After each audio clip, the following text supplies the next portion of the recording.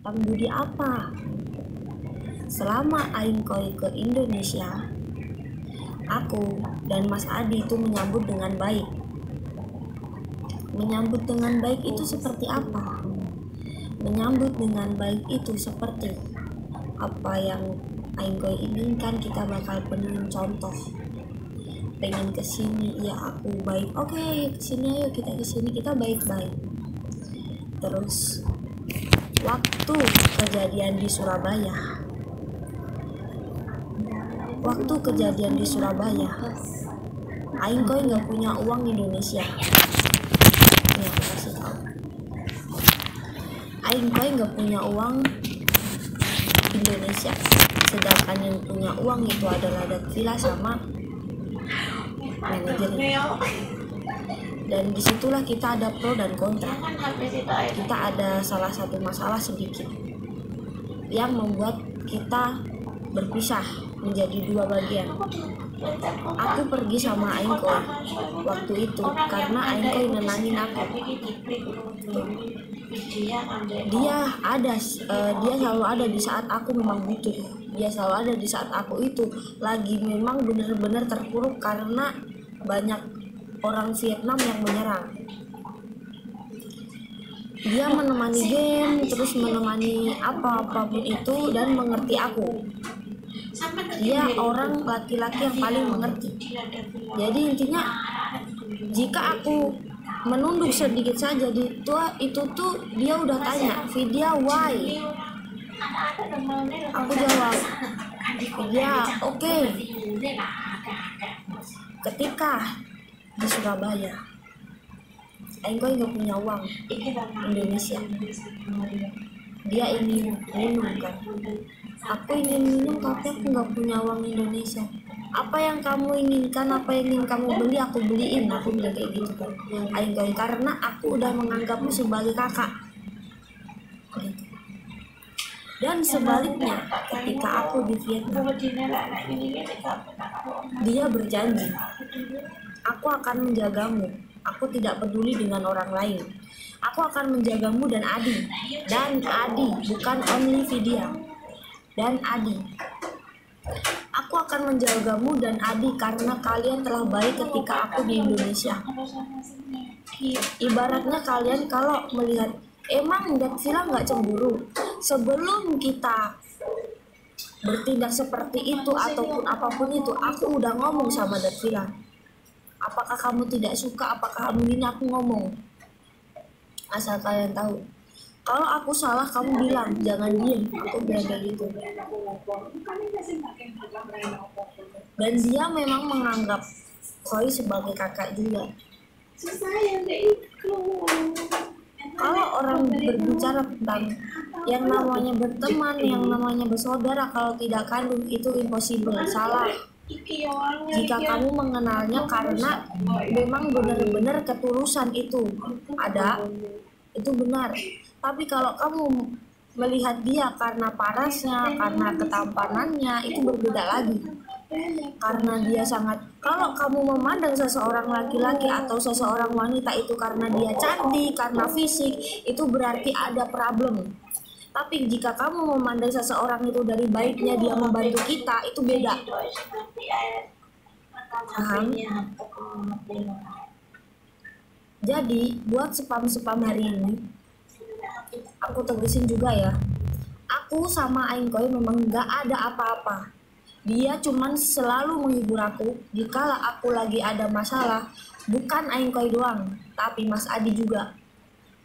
Nah, dan bukan Mas Adi dan Aingkoi juga, tapi orang lain juga menghibur.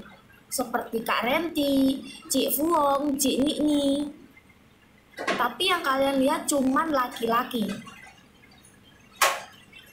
Tapi kan laki-laki sama perempuan kan berbeda. Berbeda.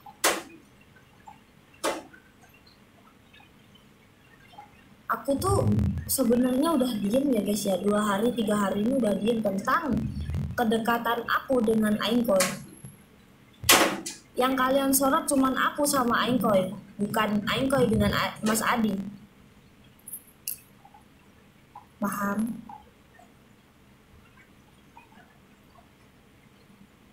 ini bukan klarifikasi ya ini karena aku bukan siapa-siapa ini ini bukan klarifikasi tapi ini penjelasan buat kalian yang ngejazz atau head comment tentang Ainkoy aku tegesin. Di saat aku di Vietnam di saat aku di Vietnam orang yang benar-benar menjaga itu banyak. Bukan Ainkoy aja. Banyak. Ada Leung tahu Leung nggak yang pakai kacamata itu? Dia juga membelikan aku makanan. Itu cowok juga. Terus aku dibilang aku deket sama dia nah Leung dia bantuin aku waktu aku sakit.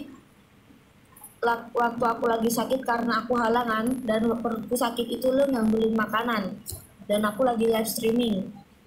Cowok. Terus yang kedua Queen. Queen Villa juga deket juga sama-sama. Semua laki-laki dan semua perempuan yang di sana itu sama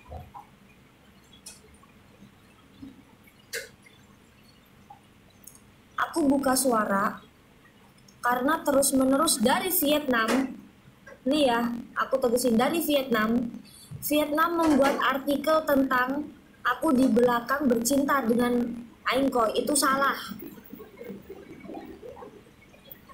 Aku udah menghapus aku udah menghapus Facebook maksudnya menghapus aplikasinya. Mungkin nanti aku bakal SS apa di situ dalamnya tapi memang memang gak perlu. Itu bukan asumsi publik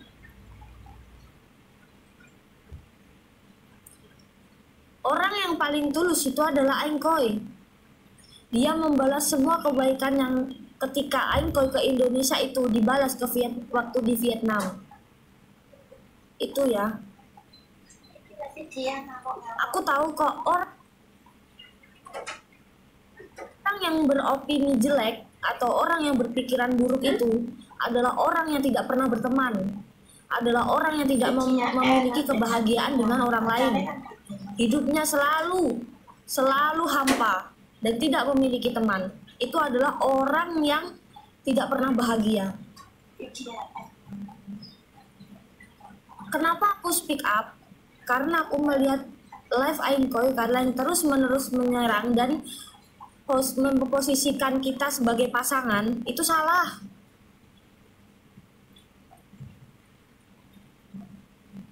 ini aku tegesin ya banyak head comment juga dari Vietnam tentang hubungan dan villa dan ah ini aku tegesin ya terus dari Indonesia juga banyak head comment tentang aku dan Ainkoy aku dan sebelumnya. Orang yang tidak benar-benar memiliki ikatan seakan-akan dikasih tahu dengan memiliki ikatan, dikasih tahu kalau orang itu memiliki ikatan. Kalian tuh dapat informasi itu dari mana? Mungkin aku tidak tahu ya apa yang diajarkan oleh tentang agama atau tentang negara ataupun itu tentang yang namanya timbulnya fitnah Suzon. Sama Nih, aku kasih tahu head comment, head comment memang banyak. Yeah. Tetapi aku memang tidak membaca dan aku itu memang I don't care, udahlah selesai. Tapi kalian boleh menyerangku tetapi jangan ainkoy. Aku cuman pengen kasih tahu buat teman-teman Jangan menyerang orang lain. Serang aku nggak apa-apa. Karena apa? Aku nggak pernah menghiraukan kalian. Ketika aku melihat Aingko diserang, aku nggak bisa. Aku lagi nemu ini. Kalian bilang, udah, udahlah. Kamu juga harus terima konsekuensi. Iya paham jika aku disuruh memilih juga aku nggak mau memilih seperti posisi se sekarang iya aku juga pengen balik seperti dulu. Hmm. Karena ini adalah takdir. Kan aku udah bilang semua kembali kepada takdir. Takdir jalanku seperti ini aku akan terus menjalani takdir. Yang namanya takdir ya takdir. Nah, kalau kalian mau menyudutkan, sudutkan aku nggak apa-apa, tapi jangan sudutkan Aing Koi. Jangan sudutkan Datvila. Bayar 10 juta. Karena mereka berdua itu bersahabat. Ditarik tanganmu kena teneng layar, bos. Tarik ke kanan. Gini loh, emang nggak ada kanan, kerjaannya Bos. selain mengomentari hidup orang lain, selain kepoin hidup orang lain, emang nggak ada? Hmm. Kesibukan lain